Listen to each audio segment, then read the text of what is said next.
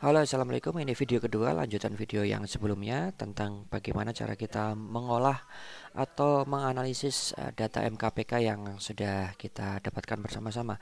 Kalau kalian ingat di uh, video sebelumnya kita punya masalah di salah satu variabel yaitu variabel jumlah handphone yang dimiliki. Di sana ada satu mahasiswa yang ternyata salah mengisi.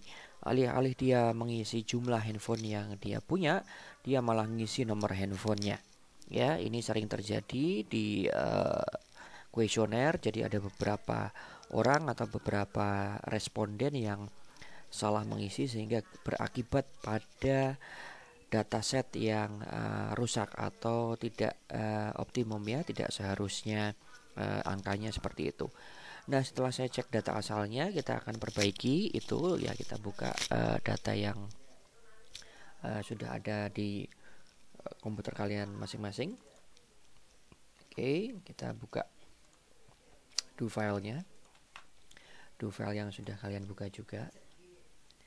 Oke uh, sebentar. Oke. Ya ini uh, do file yang sudah kita buat. Ya kalian ingat tadi kita sampai browse ya. Oke. Nah kalau kalian cek di uh, variabel jumlah handphone ya ada satu mahasiswa yang salah menulis. Ya mahasiswanya siapa kalian tidak bisa tahu namanya cuman yang jelas dia dari kelas D gendernya wanita tanggal lahirnya 13 September tahun 2000 tingginya 155 cm beratnya 68 dan seterusnya. Oke Nah, kita akan perbaiki data set ini uh, untuk observasi yang ini saja. Yang bisa kalian lakukan sebenarnya ada dua, uh, tinggal mengikuti cara saja dengan menulis ini di komen nomor uh, 10 sampai nomor 12 di do file atau kalian juga bisa mengubahnya secara manual cuman kalian harus ganti dulu di edit mode di sini ya. Uh, biar tidak terlalu panjang kalian tinggal ikuti saja.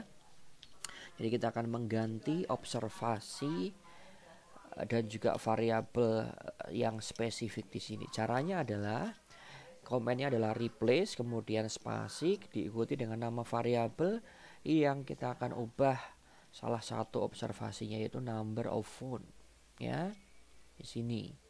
Biar kalian tidak salah tulis ya sebaiknya kalian cukup copy and paste saja di sini. Misalnya ini klik kanan ya, copy dan seterusnya eh, kalian paste di sini. Oke. Okay. Kemudian diikuti dengan uh, sama dengan nah satu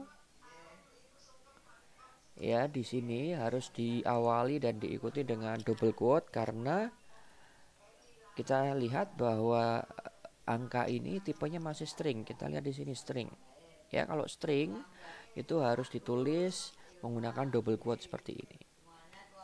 Ya jadi angka satu itu adalah angka yang akan kita ketikkan di sini. Ya saya akan mengubah nilai ini menjadi satu sehingga saya nulisnya satu di sini. Tapi saya hanya akan lakukan itu di observasi nomor 56 sehingga cara menulisnya adalah replace spasi uh, variabelnya number of phone sama dengan satu ini adalah angka atau nilai baru yang akan kita sematkan di sini. Dan khusus hanya untuk observasi nomor 56 oke kita akan execute ini. Ya kita run ya control D. Kita lihat uh, variabel number of phone sudah berubah nilainya untuk observasi nomor 56 menjadi satu. Nah apakah ini sudah cukup? Belum karena seharusnya variabel ini berupa variabel numerik atau isinya angka. Dan seharusnya warnanya itu hitam bukan merah. So yang kita lakukan adalah mengubah nilai uh, variabel ini menjadi uh, numerik. Namun caranya tidak bisa langsung. Kita harus membuat variabel baru yang diambil nilainya dari nilai variabel number of phone caranya adalah di baris selanjutnya yaitu dstring. Dstring adalah suatu option atau komen di stata untuk mengubah suatu variabel yang tipenya string menjadi variabel numerik. Nah, caranya adalah dengan ketik dstring kemudian diikuti variabel lamanya, variabel number of phone yang kita akan ubah nilainya menjadi variabel numerik ya di mana nanti angkanya akan warnanya hitam semua. Kemudian koma diikuti dengan spasi, kemudian diikuti dengan gen. Gen itu generate uh, generate uh, sebenarnya cuma kita ketik saja gen. Kemudian dalam kurung dituliskan nama variabel baru ya. Ingat harus nama variabel baru. Namanya tidak boleh sama dengan variabel ini. Ya, agar memudahkan saya uh, hanya menambah huruf B di belakang 6. Jadi nama variabel barunya adalah num underscore of underscore phone. Kita blok baris nomor 11 ini kemudian kita run Nah, kita cek lagi di data editor. Nah, di sebelahnya number of phone sudah tercipta variabel baru yang warnanya sudah hitam. Nah, kita cek di sini ya formatnya sudah sesuai, tidak S lagi artinya variabel ini sudah variabel numerik. Sehingga kita bisa uh, memperbaiki data yang tadinya merah menjadi hitam. Nah, ini bisa kalian lakukan tapi uh, variasinya banyak. Uh, mungkin kalian akan menemui beberapa kasus yang dengan cara ini tidak berhasil. Jadi kalian harus bisa mencari caranya sendiri nanti. Nah, kemudian di video selanjutnya kita akan uh, mulai untuk melakukan uh, pemeriksaan data kembali juga untuk variabel-variabel lainnya. Oke, video ini cukup.